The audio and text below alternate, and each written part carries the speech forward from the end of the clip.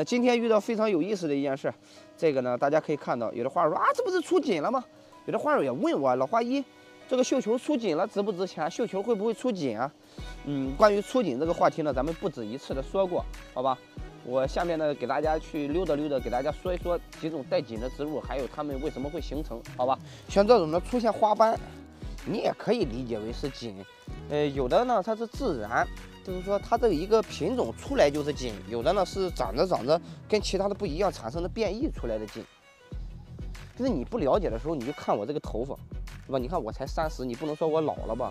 这种也可以理解为 出锦。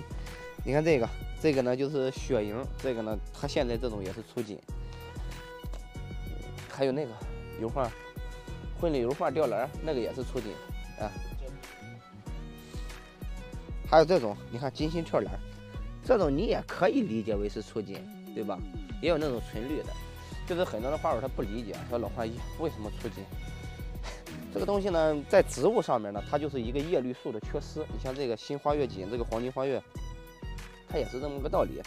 这种东西呢，它可以变变绿吗？它也是可以的。像出锦的植物呢，缺光的时候就会慢慢的变绿，因为植物非常的聪明。它为什么会非常聪明呢？你看哈，这个植物缺水的时候，你给它惹急眼了，它不光是花盆里边长根儿，它枝条上面，它甚至说这种树干上面，它都会去长根儿，对吧？你缺光了之后呢，它会徒长，一枝红杏出墙来，对吧？植物有很强的可塑性和抗逆性。所以说，有的花友说老花友为什么我把花养死了？这个都是你浇灌，你爱过多把它溺死了。植物呢出锦，就是说，哎，属于这种正常的一个。你实在不行，你又寻思我这个头发的事，这不也是出锦吗？这不演的，这不是染的，这不是染的。好了，简单的一盖它就行了。其实关于这个植物出锦值不值钱呢，完全靠个人的一个审美，还有就是我们这个行业里面的一些运作，把它这个价值炒起来也就值钱了。希望花友们呢理性的去看待这个事儿。如果说你喜欢这种带锦的东西呢，这个不反对，好吧？那个叫什么萝卜白菜各有所爱是吧？